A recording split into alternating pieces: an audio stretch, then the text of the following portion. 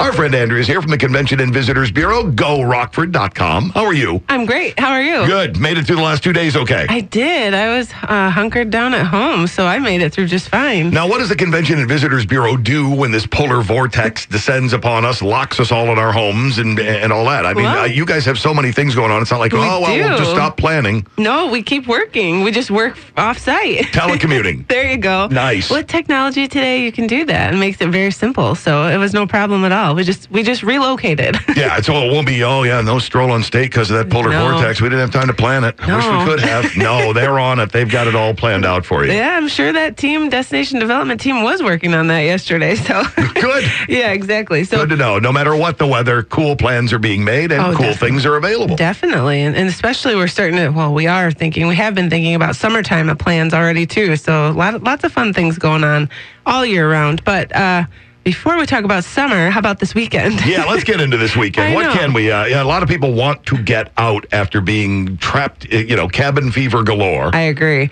And this is a good weekend. We've got a lot going on. So we'll start by talking about the Rockton Yeti Fest. Oh, yeah. If you have not had a chance to go to this, it's so much fun. The downtown Rockton team worked so hard to put this on, the local businesses there. So it started Wednesday, but it's going all the way through Saturday. So it's a big event in downtown Rockton. You can check out their Facebook page for more information. But what you can expect this weekend are various activities like they're going to be doing snow sculpting, Yeti hunt, Yeti hunting. Can you oh, believe nice. that? I, didn't even know they were around here. I know, right? And uh, ice skating, dog sled mushing, that's new this year. You're going to have all the local businesses open. They're going to be having specials, you know, to celebrate this big event. And then also, this is kind of, this is pretty creative. I like it. On Saturday, they're going to be doing the onesie pub crawl. What do you oh, think of that? nice. I know. Wear a onesie. Cr- oh, nice. I love it. So it should be nice and cozy and fun. So get ready for that. Then also, this is this is really fun for all you cat ladies and gents out there. Uh huh. Saturday and Sunday, they're going to be hosting the Rock Valley Cat Club Cat Show at the Forest Hills Lodge. Now, this is 9 to 4 both days.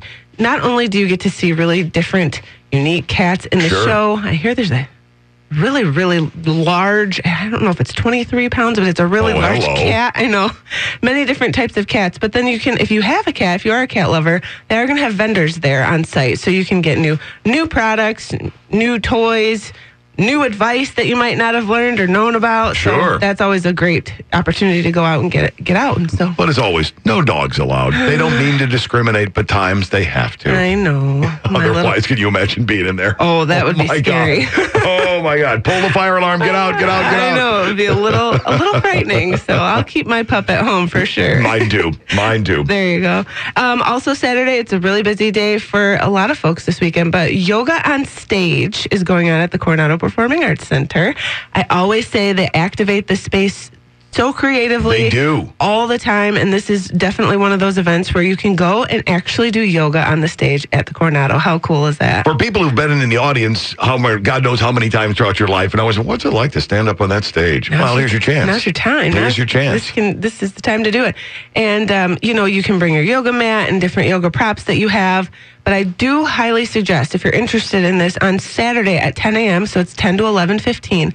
Definitely call now because I could see this filling up pretty quickly. Oh, sure. Yeah, that stage is big, but it's you know there's limitations there. So right. People are moving around. yeah, exactly. So they will uh, be able to accommodate you if you call early and, and book your book your spot. And definitely suggest bring your friends as well. Yoga is uh, is uh, in the midst of such a big resurgence. I know. Um, you know, I, I remember the '70s and all that when it, when it seemingly burst upon the scene. People talked about it and all that, and then it kind of tapered off a little bit. But boy, it has Right. come roaring back, and the benefits that it offers people in their lives. Well, if you read about yoga, you're right. There's so many benefits to it, and it's you know it's it can be really aggressive or it can be more low impact too for any type of level. And so I think that that's like it's perfect, and Yeah. you can you can do it together. And I don't know, I'm I'm not so good at it, but I still try. My dad was a Tai Chi guy Oh. and was always up well, well before dawn and, and would do Tai Chi and did it well into his late 70s. really. And that was his thing every day. And I remember going, you know, well, well what, what about yoga? No, no, I'm fine with this. I'm fine with He was just of the mind, do something. do something. do something. And the more you do it, the easier it gets, right? Right. So So there you or go. so they say. Or so they say, exactly. I keep telling myself that. Yeah, sure, it'll get easier.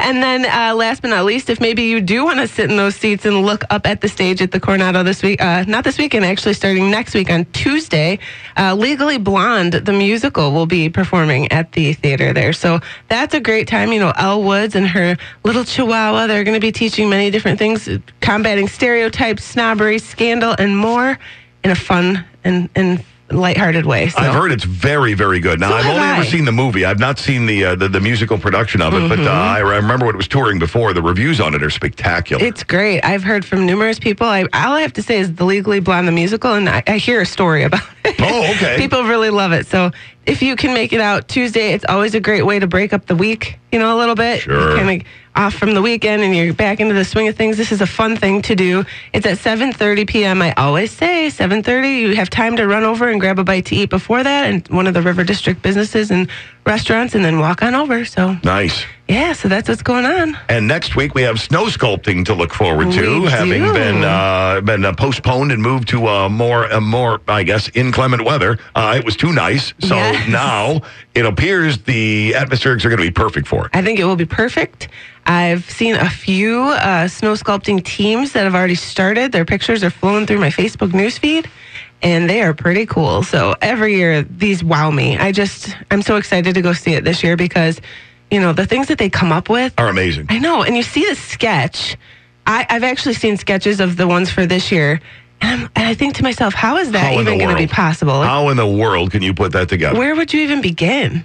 But they make it happen, and it's so cool. So if you have a chance, it's going to be good weather for it. You should go check it out. Yeah, I'll, uh, mid twenties, mid to upper twenties, so it'll be perfect. You're not gonna have stuff melting all over the place. Yet the Right. people who are out doing it aren't worrying about hypothermia. Right. Oh, or the audience coming through won't be limited because, well, I'd love to go see it, but it's just too cold. No, yeah, exactly. So, and you can even drive through in your car too. So, You're right. Crank the heat way up. There you but, go. Uh, yeah, that'll begin uh, next Wednesday, so we have that to look forward to as well. What do you have going this weekend? oh, what's this weekend look like? I, I don't know. I think I could try that yoga, but I think I'm going to head over to Rockton Yeti Fest. Yeah, let's see. Yetis yoga. Yetis Yeah. yoga. I'm going to go alphabetical on this one. Sure. I like that. Have a great weekend. You too. Everything she mentioned, you can find out about it at gorockford.com, a really super comprehensive website of all the cool things going on around the area.